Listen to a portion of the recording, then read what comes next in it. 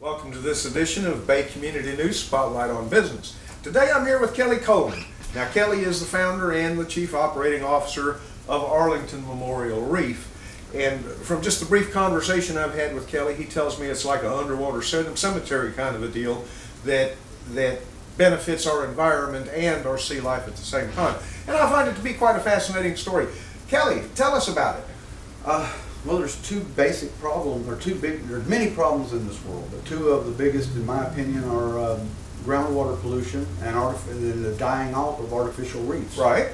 Um, groundwater pollution, there's over 3 million people buried last year, and 820,000 gallons of toxic, not waste, but uh, formaldehyde is soaking into the ground, which works its way into our groundwater. Well, don't the crypts, the concrete crypts that they bury the, the caskets in now, prevent that from happening? It does over for a period of time. Right now, we're dealing with funerals from 10 and 15 and 20 years ago. Right. 10 years from now, they'll be dealing with today's. But 820,000 gallons a year is so is being used, and it's toxic and it's soaking into the ground. Where our drinking water Yes. comes from. Okay, so what is your alternative and, and how does Arlington Memorial Reef help uh, solve that, that groundwater pollution problem that we're facing? Well, what cremations is the fastest growing part of the funeral industry. Almost half of all services last year were cremations, Mhm. and it's, the number's rising every year. Has been for the last several years. The more cremations there are, the less ground burials. The less ground burials, the less toxic fluids there are into the ground. Right. By building artificial reefs, we're benefiting the groundwater, but we're also benefiting the Gulf or the ocean.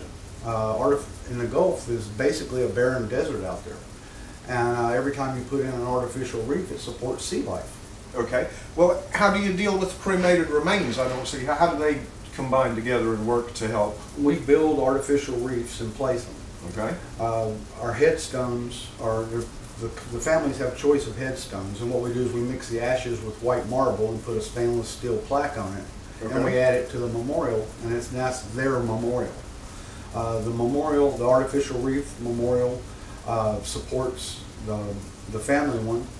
The family plan uh, supports four grouper holes. The next several layers are for schooling fish. The top layers are for bait fish and babies, so they have a place to hide and a chance to grow. so, so as I understanding it, as I understand it, then you're deploying memorials prior to adding the cremated remains? Some of the memorials we build and donate to local artificial reef associations.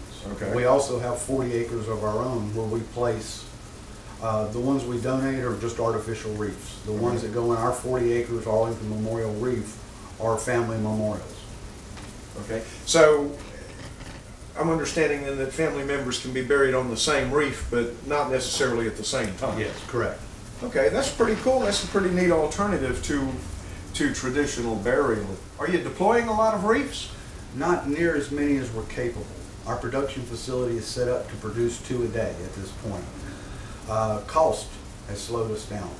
To deploy these memorials cost us, to rent a barge to place them, cost five thousand a day and three hundred an hour. That cost alone has slowed down the deployment process. We've had a gentleman that was kind enough to donate to us a sixty-two foot barge. Okay. It needs to be totally re- refitted. So what does it need as far as refitting? Uh, stabilizer motors, pusher motors, crane motors, cables, hydraulics, paint, bottom work. I mean, it just needs to be refitted from the ground up. So that'll reduce your costs to deploying memorials and reefs and, and helping to. Oh, absolutely. We can, then we can, we can, we can put them out faster than we can build them. Okay, well, that sounds very, very good. Now, I know that we're running, that you're running a crowdfunding campaign. Right. Yes, we are. Tell us about your crowdfunding campaigns. Uh, we've had several estimates on redoing the barge and the general consensus is thirty-eight thousand dollars. Um, so we're trying to raise thirty-eight thousand for the barge project, to refit and get this barge up to, up to where it's seaworthy and certifiable. Are you offering the individuals and companies that donate to you anything in return for their Yeah. donation? Every- Tell us about it. Everybody that donates, there'll be a stain, we're gonna build a, a custom artificial reef. And everybody whose name donated goes in stainless steel on that artificial reef. On the barge, there'll be another wall. Uh, we'll use one of the walls and we'll put a stainless steel plaque up of everybody that donated. Once we've hit our goal and the barge is up and running, we're gonna put everybody's name in a hat and draw. And one family or one person will have the ability to name the new barge. Kelly, do you have any specials or discounts for certain groups? Yes, uh, one of them is uh, military veterans. Okay. Uh, retired military receives 25% off of our retail price. If someone's KIA or someone who paid the ultimate price for this country, we provide our services free of charge. Um, it includes taps, the folding of the flag, full military honors. What about a family plan? Uh, four, three of our memorials are for individuals. Uh, One of them is a family plan. We can put uh, up to five headstones on one memorial at different times. Okay. Uh, in other words, we can do the one now, one next year, one the next year.